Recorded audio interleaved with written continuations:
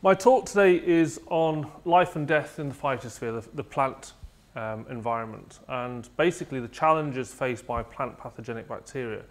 And really what I, I want to try and convey is that um, we often think about um, uh, bacteria in terms of model systems. So we think about bacteria interacting with plants and that's it. And what I want to try and do is just kind of give you a taste of, yes, they do interact with those, but they also interact with other um, systems outside of the plant. So my talk is going to be, is this um, plugged in? There we go. My talk is going to be broken down into three sections. I gather some of you don't work on this kind of um, part of biology, so I'm going to give a fairly longish introduction, maybe about 10 or 15 minutes, going through what these Pseudomonas bacteria are that I work on, their life cycle, and some of the mechanisms of pathogenicity. We'll then move into what my group's been doing. So I'm a, a relatively uh, new lecturer in Reading. We've been, I've been going three years, my, my PhD students working on this have been going just for a year and a half. So I'm going to try and keep it fairly um, shallow in terms of um, not hopefully lose you in terms of what we do, but we're going to talk about Pseudomonas, and in, the, in this particular case, a project we've been working on with, with a tree called Aeschylus. Um, I'll go through a little bit of genome sequencing work we've done, some pathogenicity studies, and then a little bit of ecology. And then just pull it all together in a summary. So Pseudomonas bacteria are pretty much ubiquitous in the environment. You'll find them pretty much everywhere. This is a, a slide that would, um, one of my friends has just pulled together, Scott Godfrey, for a, a review that we're doing on Pseudomonas. Just really to try and demonstrate that um, Pseudomonas are found in many places on Earth, and they have, when we think of them in terms of um, bacteria, they've evolved basically a number of different lifestyles and interactions. We have um, Pseudomonas that interact with humans that are pathogenic. You often find them in the lung.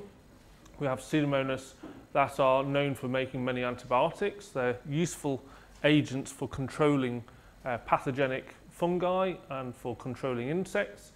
They're also found in um, areas where they kind of colonize plant roots and they help plants to grow. And then we have also the plant pathogens. So I'm going to be talking to you today mainly about a Pseudomonas plant pathogen called Pseudomonas syringae. And basically this colonizes plants. You'll find it within the soil. It's also particularly seed-borne, so it's very commonly spread through contaminated seed.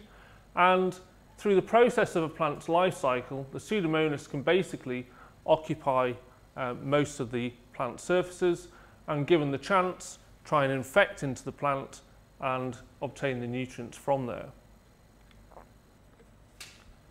If we think about Pseudomonas bacteria um, and their ability to survive in the environment in general, in the, in the plant environment, we might break this down into two areas. One is the area around the roots that we call the rhizosphere. This is basically the roots and the soil. And the soil area is a fairly barren environment for a lot of bacteria. Uh, it's also packed with competitors and a lot of predators that will eat bacteria live in this environment, such as nematodes and protozoa. The plant, though, offers um, a lot of nutrients uh, in some cases, they'll actually exude nutrients that attract bacteria like Pseudomonas onto roots. So here we have a seedling of uh, Arabidopsis placed onto a petri dish with bacteria on there, and the Pseudomonas bacteria you can see strongly colonize the roots because of the nutrients exuded. If we look at the above parts of the plant, so what we call the phyllosphere, then there are a lot of stresses that the pathogen has to overcome, whether they're abiotic stresses such as solar radiation or desiccation. We also have things like um, insects that feed on the plant and will inevitably ingest those bacteria, so they have to deal with those. So we can see here a little picture building up that the Pseudomonas bacteria have several different challenges um, before they even get into the inside of plants. Gaining entry into the, the plant host for Pseudomonas syringae, which is a, uh, one of the, the kind of most well-studied plant pathogens, is a challenge in itself. And they will typically enter through stomata, so these um, organs on the plant leaves, and they'll go into the stomata to infect into the intercellular spaces. They can also infect through hydothodes, these small kind of channels that are on the edges of leaves. So the bacteria can get taken up during guttation when you get this water droplet formed. And when the water is sucked back into the plant leaf, it takes the bacteria with them. And the bacteria can also infect through wounding. So trichomes are like leaf hairs. If they get broken, then there's a hole created and bacteria can infect in there. Or any kind of damage to the plant through insect damage will also allow ingress.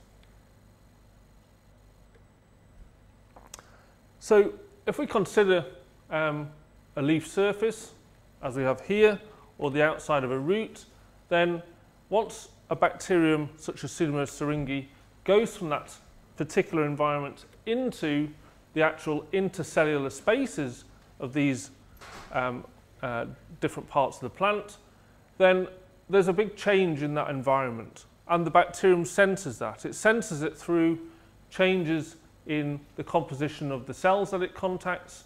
So different um, molecules expressed on these cells will actually trigger um, uh, changes in the, gene, in the gene expression of the bacterium.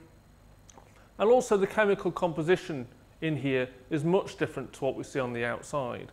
Things like the pH is much um, uh, different, the nutrient status is, is far different. You get a, a lot of different polysaccharides and amino acids that are present in these environments.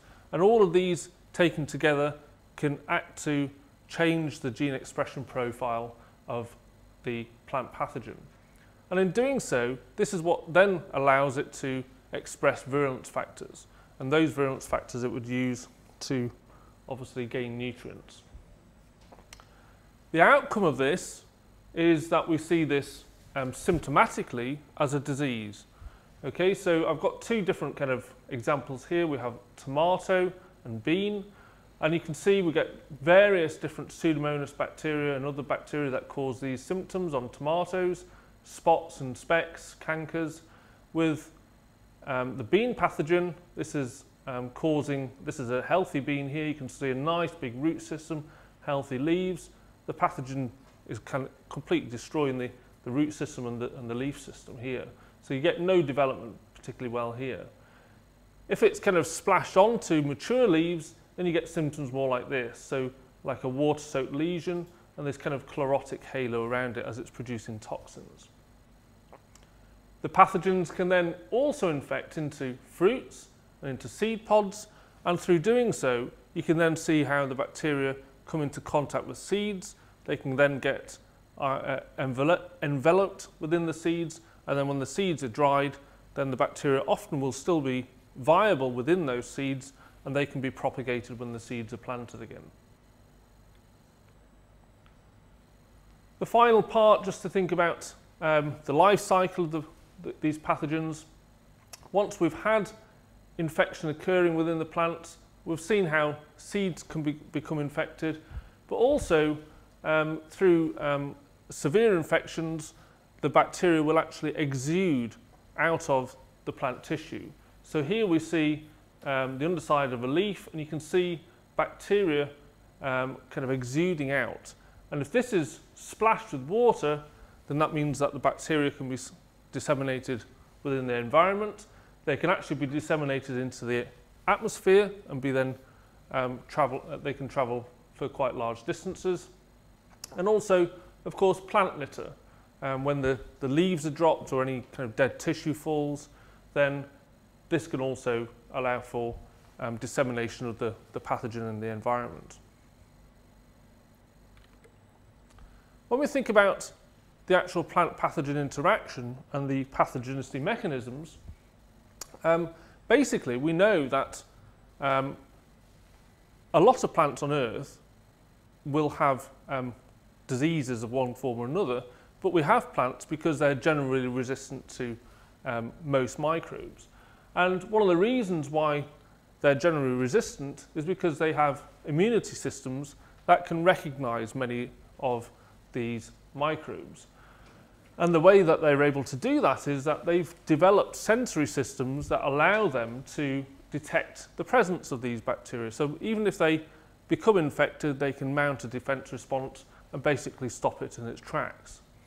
Now this is just showing you kind of a, a pictorial outline of a bacterial cell and it expresses many different types of molecules.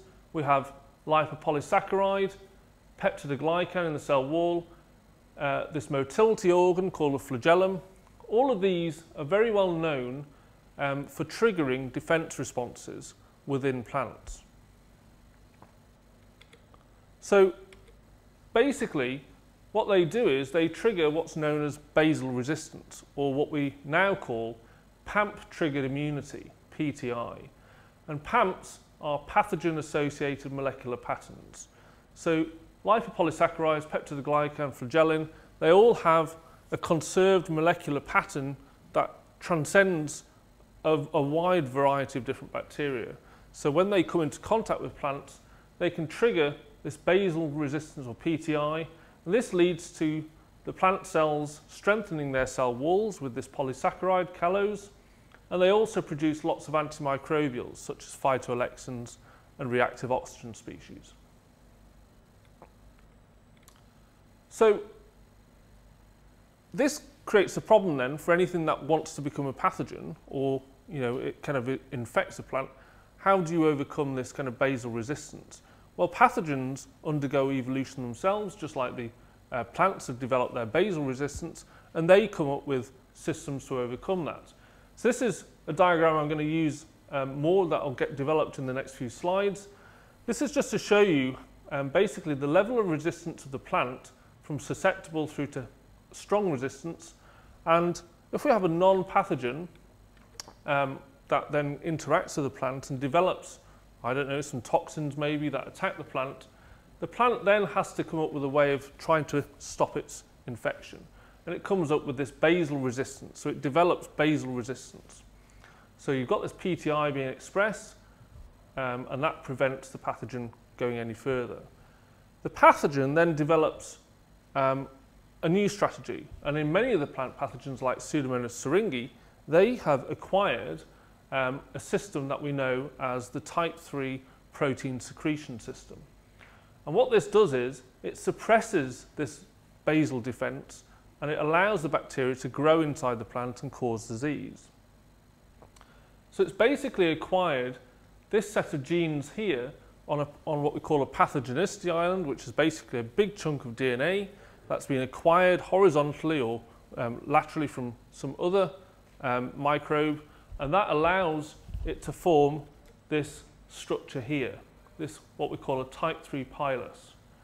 And this is a bacterial cell, and inside of the plants, they produce this pilus, and this pilus penetrates into the inside of plant cells.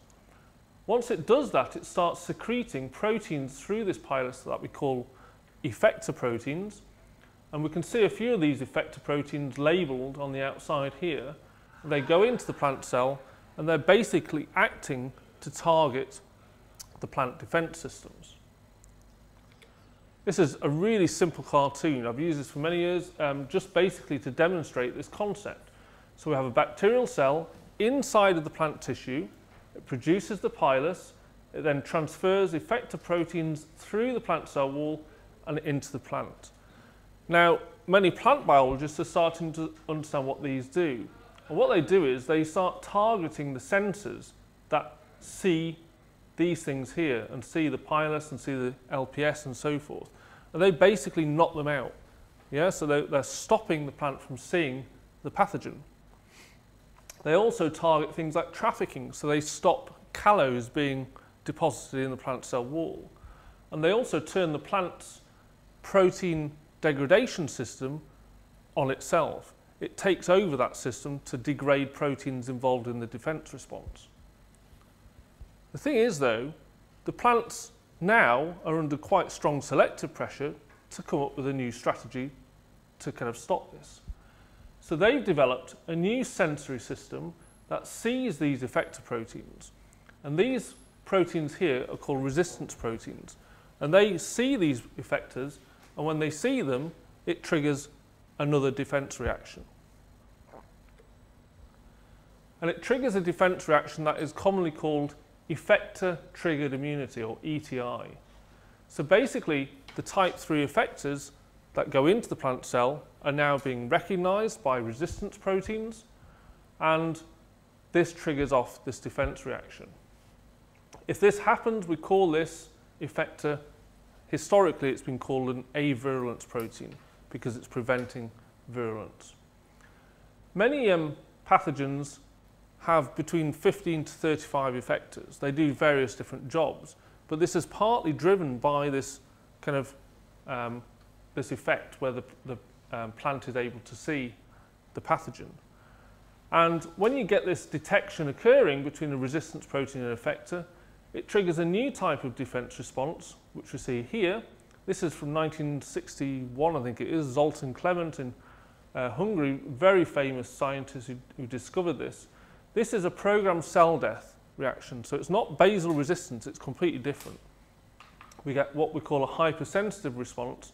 All the plant cells in this area suicide, and they basically restrict the pathogen to that area of the plant. If you can't go anywhere, you can't spread within the plant, you can't gain nutrients, and eventually you die out. So we've seen this developing where we've got PTI, evolution of the type 3 system, and then basically the plant then detects some of the effectors coming through this system and triggers this strong resistance response that we know as ETI or the hypersensitive response HR. This puts back the pressure on the pathogen to come up with a new strategy. And what it does is it basically um, triggers the, the production of many different effectors. And some of these effectors are recognized by plants. And this is the basis for host specificity between pathogens and their hosts. Okay, so um, it was originally found in flax and Melampsera, um, a fungal plant pathogen system. This is just an example of bean with a Pseudomonas pathogen. And basically, if you have an effector that is recognized by a resistance gene, you get this resistant reaction. Okay, and it's a dominant reaction. You have to have a, a dominant resistance gene and this effector. Any other combination, the pathogen goes unnoticed and it can cause disease. So it's the basis of host specificity. And so you end up in what we call a co-evolutionary arms race. We have the type 3 system become involved in suppressing this, but then we get ETI occurring, so the pathogen has to develop a new system to stop this happening. So it produces, or rather it evolves, new effectors. And these effectors not only target these, but they target the systems involved here.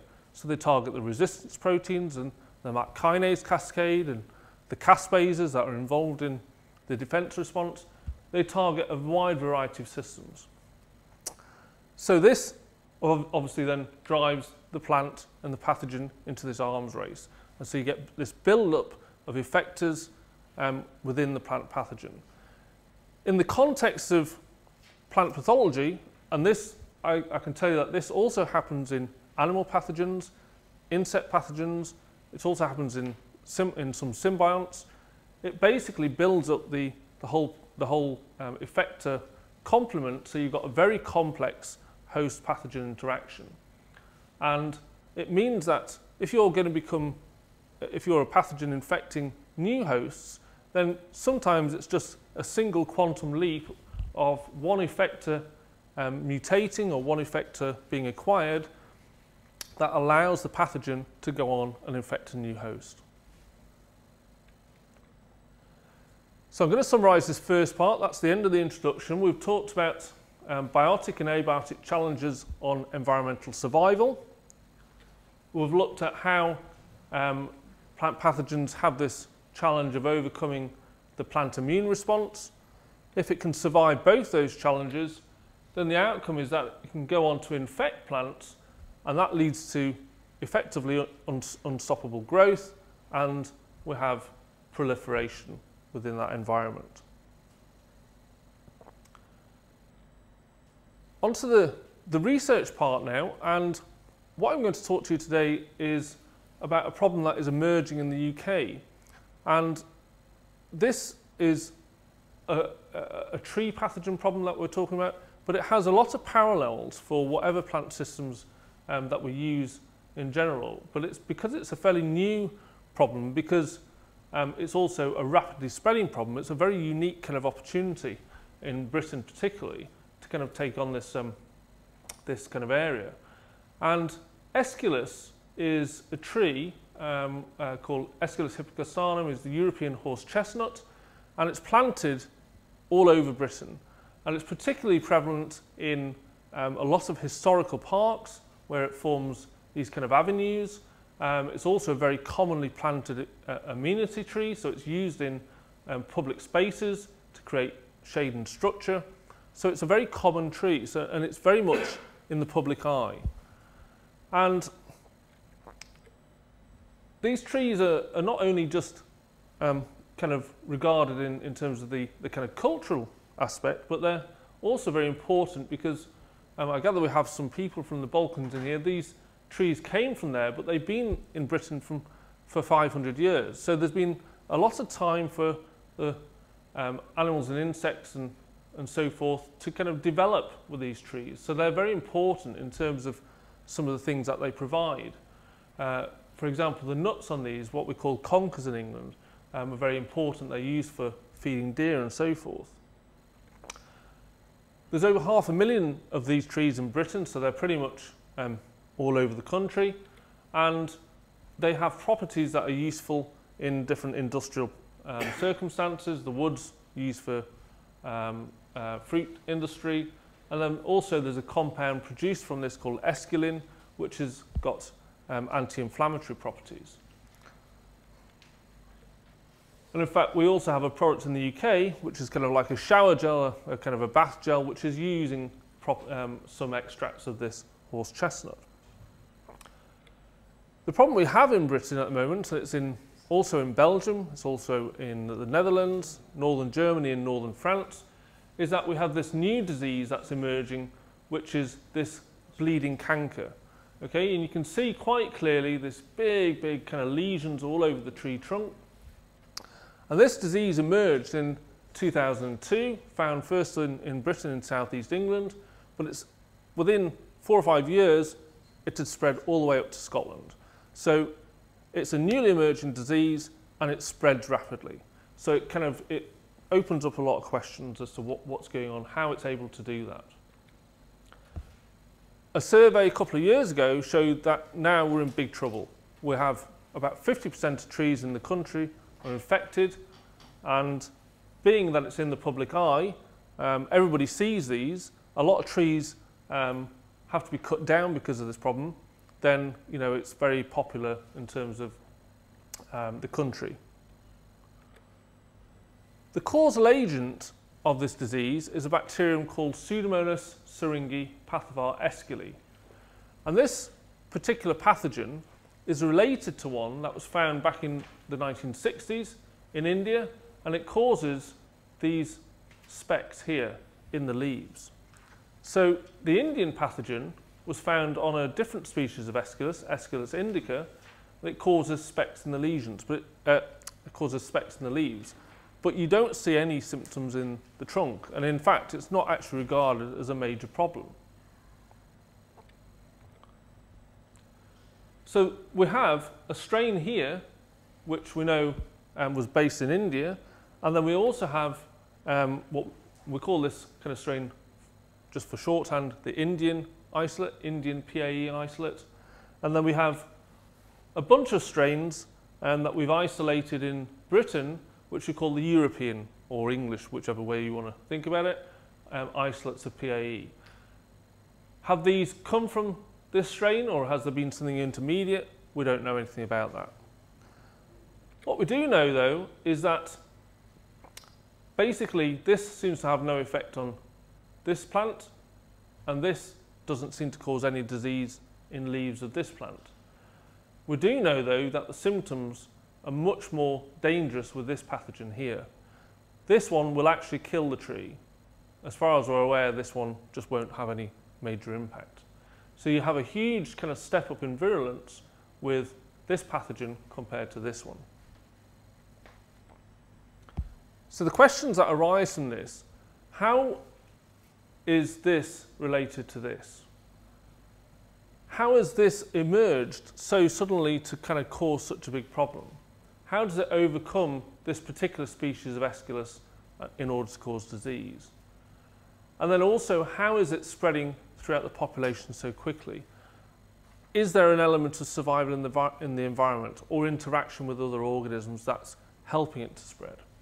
So these are some of the questions I'm now going to kind of move on to. The first thing we did was, um, in collaboration with David Studholme um, and Sophie Kamoun and the Sainsbury Lab and Sarah Green and Forest Research, was to sequence the genomes of the Indian isolate and three different isolates of the European strain. When we looked at the relatedness of these bacteria compared to other Pseudomonas syringae pathovars, so other pathogenic varieties, we, we found that the Aeschyli pathogen, the Aeschylus pathogen, is very closely related to other tree pathogens. This is the cherry pathogen, this is the olive pathogen Savastinoi. So there seems to be some relationship with other pathogens of woody hosts. When we get into the nitty gritty of the genome itself, when we compare the Indian and the European pathogens, we look at the chromosome quite remarkably, even though they're at the phylogenetic level, if essentially identical, at the genomic level, we found 300 kilobases of, chromosome difference and over 1600 single nucleotide polymorphisms or SNPs. So actually quite a significant difference between the two pathogens. If you look at the three isolates isolated in Britain, we found only three SNPs and a few changes in the plasmid content.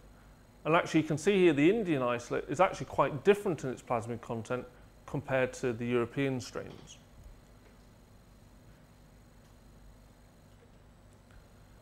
So if we think about this geographically, what we think we've got is the Indian isolate over here, and then we've got these three British isolates over here, one isolated in southern England and two in northern Scotland.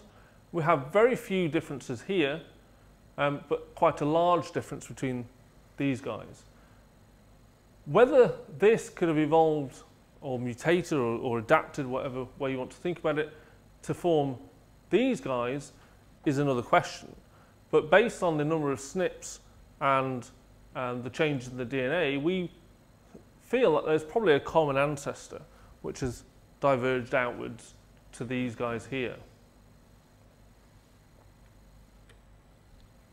If we look at the gene complement, we find that actually there's quite a few differences. Obviously, there's 300 kb of DNA different, but in the Indian isolate, we see a different complement of effectors that go through the type 3 system we mentioned earlier. It has these four, whereas the European isolate doesn't. The European isolate has a system for sucrose uptake. The Indian isolate doesn't have that. Sucrose uptake and metabolism. Then we have a common set of genes, and there's some really interesting ones in here. We have the type 3 secretion system, which we predicted, that's present, and I'll show you in a moment, it's almost certainly active we found very unusually for a Pseudomonas a set of genes that make a siderophore called enterobactin. This, is only, this has never been found in Pseudomonas before. It's only found in enterobacteria it's a very, very strong chelator of iron. We also have a number of genes involved in what we predict are involved in uh, lignin breakdown. So lignin produced by plants, these trees, um, and it's possibly part of the, the kind of um, strategy for infection. One of the things that we have done, it's only a very simple test, is to look at this, excuse me, this correlation of um, sucrose uptake and metabolism. So the Indian isolate, remember I told you causes infection in the leaves. The European isolate causes infection in the branches and the trunk. When we look at the pathology, Sarah, Sarah Green has shown that this guy only lives in the phloem of the tree. This one resides only in the leaves.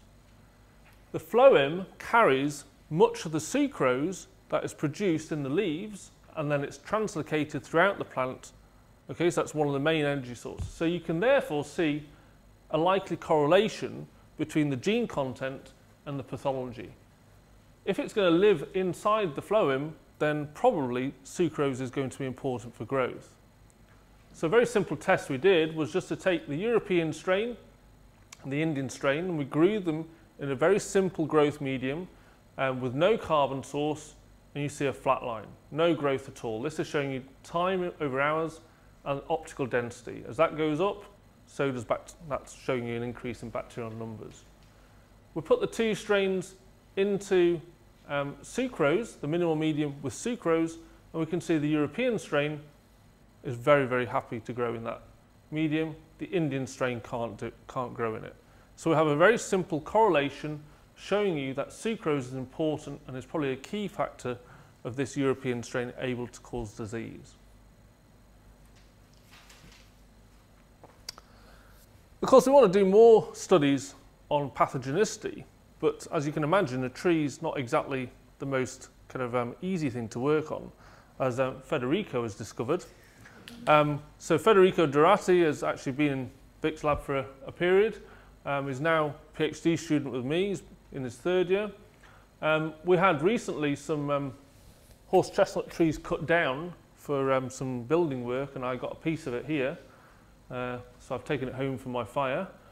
Um, but it's, um, as you can see, that's a mature 25, 30 year old tree. It's a bit too big to work on.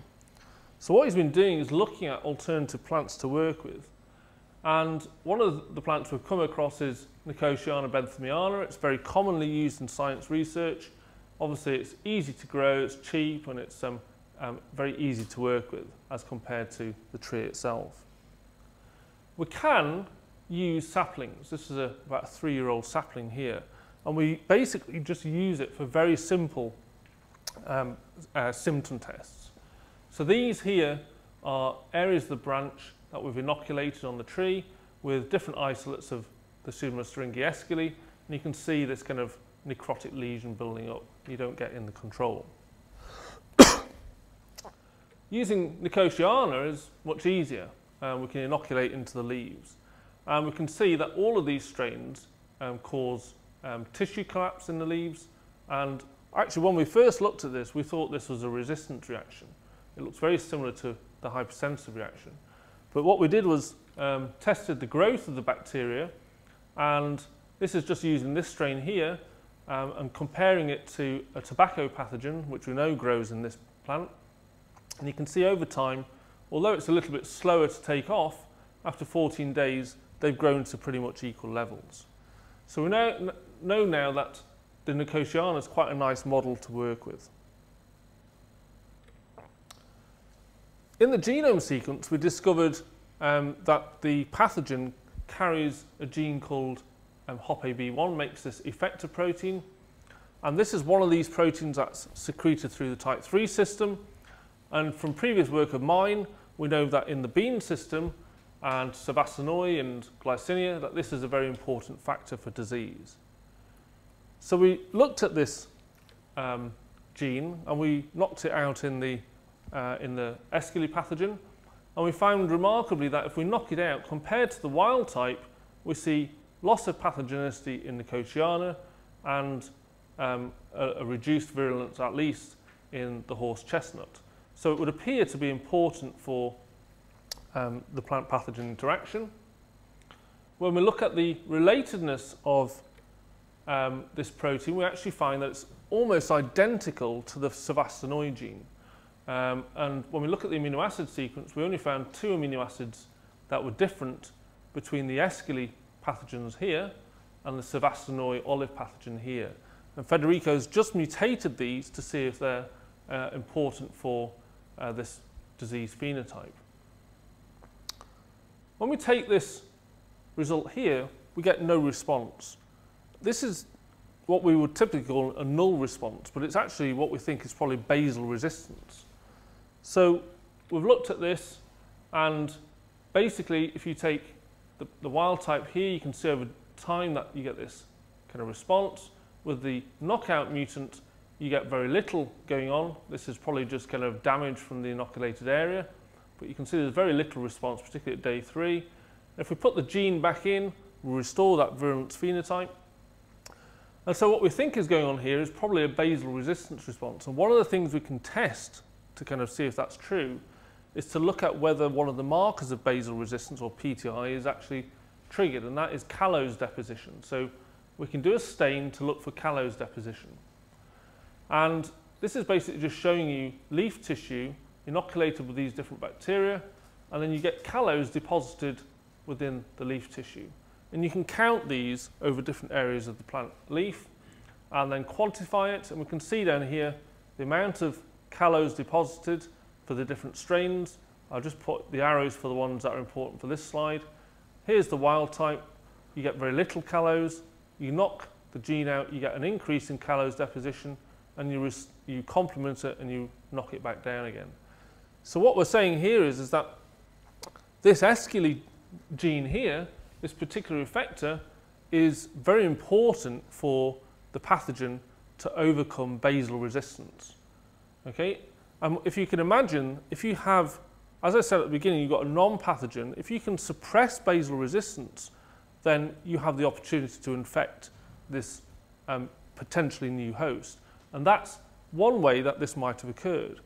As um, the Escaley strains, which have probably been just living in the environment um, in Europe, not as a pathogen perhaps, as it perhaps gains this effector, that's been enough for it to kind of tip the balance and infect the tree.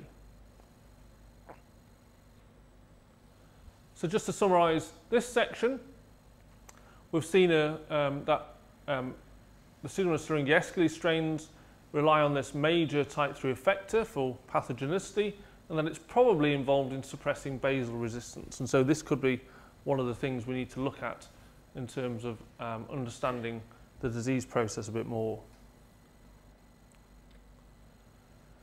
Okay, on to the final section now. So I alluded earlier about how I'm interested in not only the interaction with the plant, but what happens to pathogens away from the plant.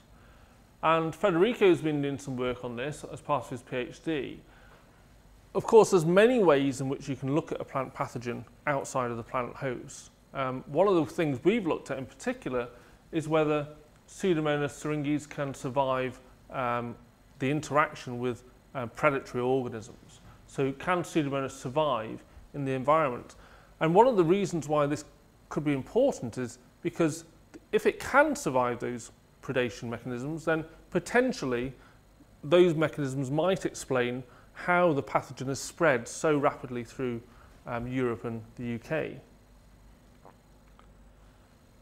So one of the first things we've done is um, looked at what happens when you um, challenge Pseudomonas syringae um, pathogens with um, this nematode, Caenorhabditis elegans. And on this graph here, we're looking at whether um, any of the syringes are toxic to the nematode. So this is showing you um, nematode death and the different strains here. And on this, so I'm going to talk now about not only the horse chestnut pathogen, but also a bean pathogen and a tomato pathogen. We've tried to do it um, to kind of get a nice broad overview. And then as a control, E. coli OP50 is what we use nematodes, that, uh, is their standard feeding bacterium. So that's the control there.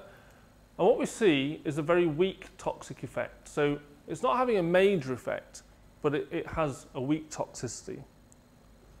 The kind of key experiment, of course, though, is um, what does the nematode do to the pathogen? What effect does it have there? So here we're looking at bacterial cell numbers over seven days. And we've got the four strains again, and they're all at quite high numbers to start with. And the nematode does reduce the bacterial numbers. But there's two things here. First of all, we know that these numbers tend to stabilize over time. So they come up with a way of stopping them, completely killing them off. But the other thing is here, you can see that between E. coli and Pseudomonas, there's a big, big difference in terms of the drop in numbers. So what that suggests to us is that Pseudomonas does have some kind of mechanism to kind of help it survive this predation. So it's able to cope with nematode grazing. Another system we've looked at is the interaction of Pseudomonas with amoeba, which are predatory protozoa, in this case Acanthamoeba polyphaga. And when we challenge um, amoeba with the four strains, this is no bacteria in blue, looking at the number of amoeba cells, over time we find that amoeba only grow on the E. coli strain. They don't grow, so they don't increase their numbers on the Pseudomonas. So it's a slightly different assay. It's a little bit more tricky to work with the system, and it's um, you know we're still trying to work out if we can see amoebal cell death.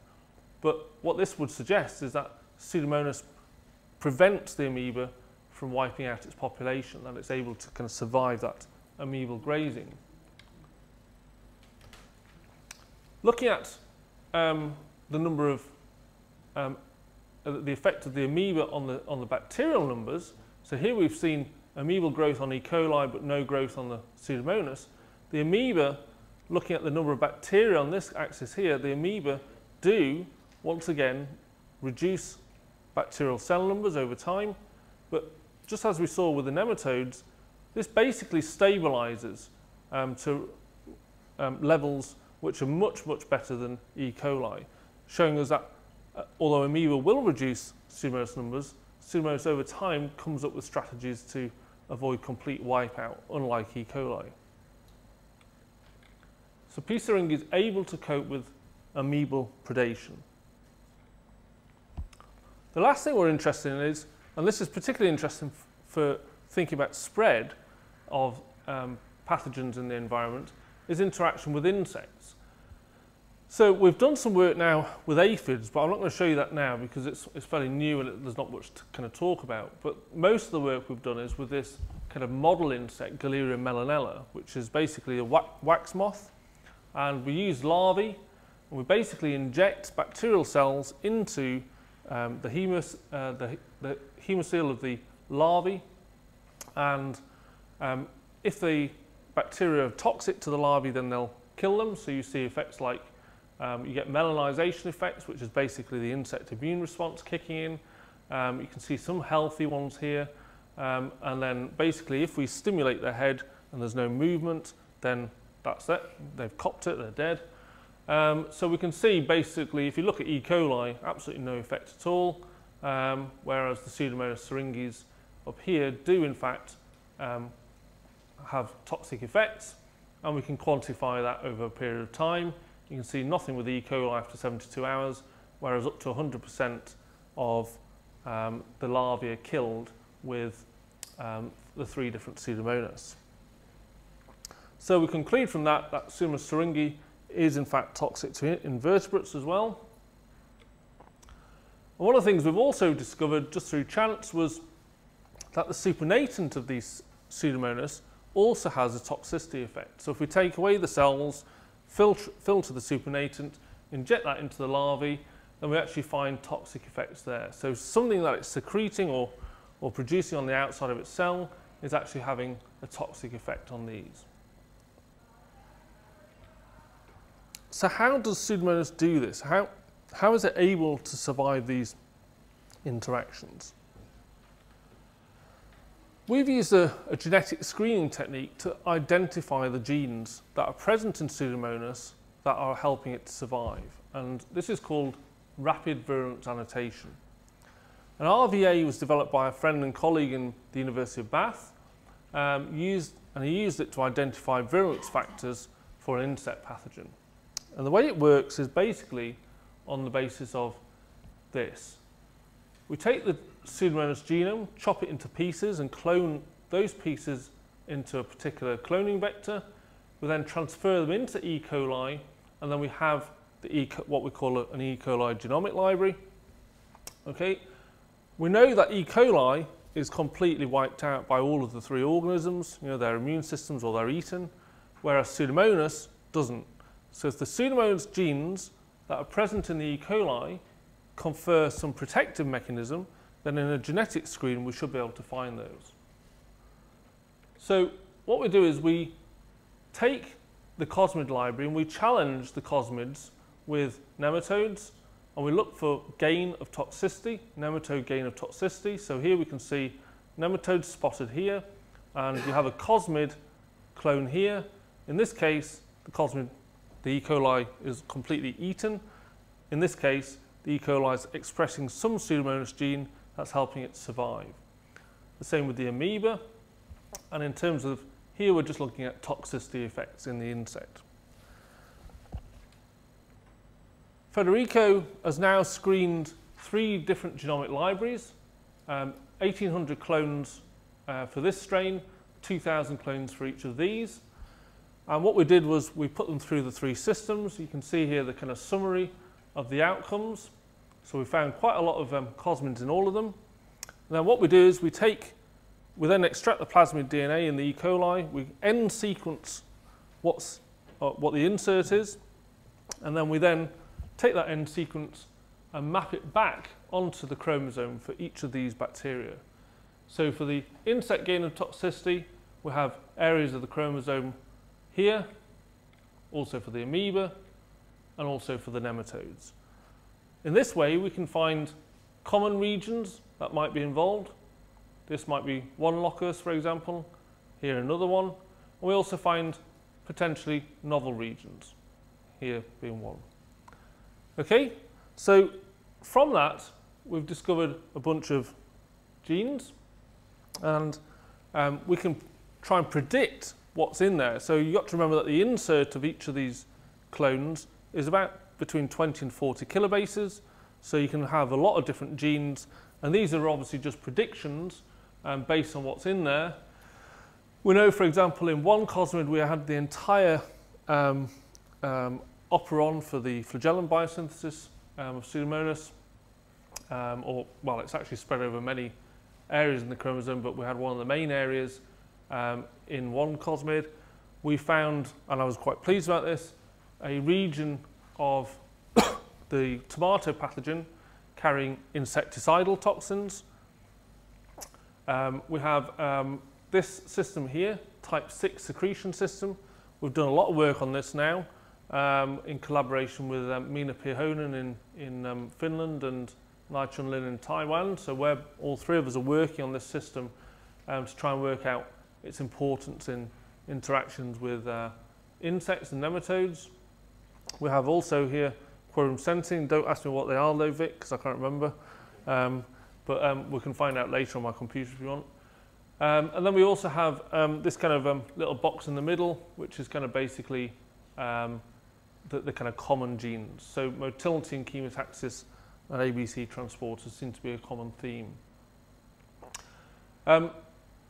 From there, and this is coming up to the end of the, the kind of talk now, is the next kind of step. And that's really to try and validate um, what we've found. Um, what are the genes that we've found? Are they important? Um, the, the best way to do that, of course, is to go back to Pseudomonas. So what we've been doing is making knockouts of selected genes. And, he, and um, Federico chose uh, 10 genes. He's managed so far to make knockouts in eight. So we make knockouts in the Pseudomonas. We then re-challenge the mutants to the nematodes, insects, etc., and amoeba. And we look at what the outcome is in terms of um, survival or toxicity.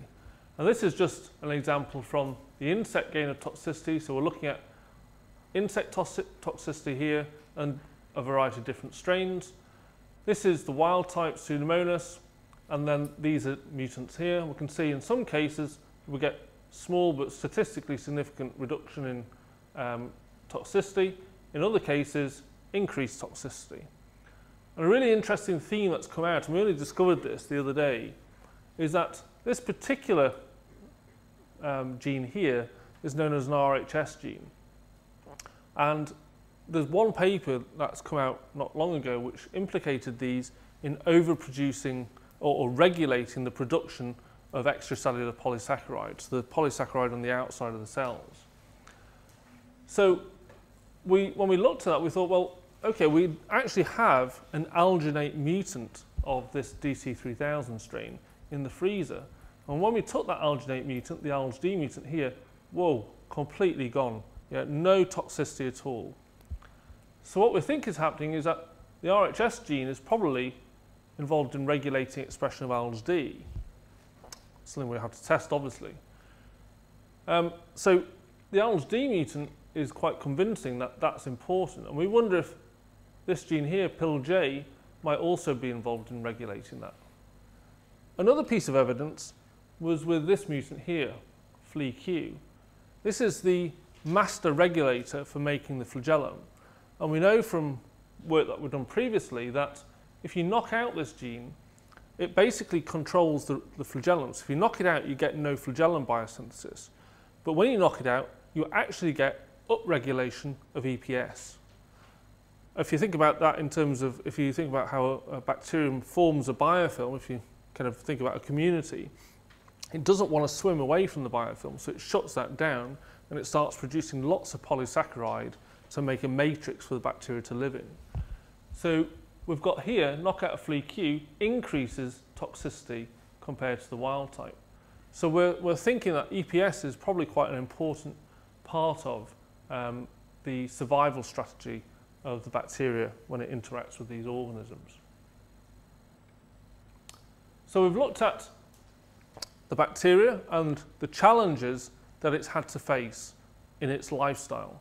We've looked at how it has to overcome recognition of some of these um, molecules here, how it de it's developed this pathogenicity system here to try and suppress recognition of these molecules.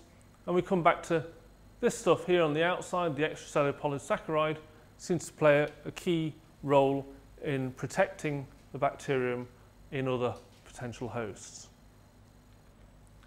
So just to summarise all that, we've seen Pseudomonas have evolved various different strategies, toxins, EPS, um, uh, motility we think is also a key kind of one. We think that basically one of the strategies is, hey, big guy, run away. So that's one of the things we think is going on. We've seen swarming kick, uh, kicking off with some of these guys.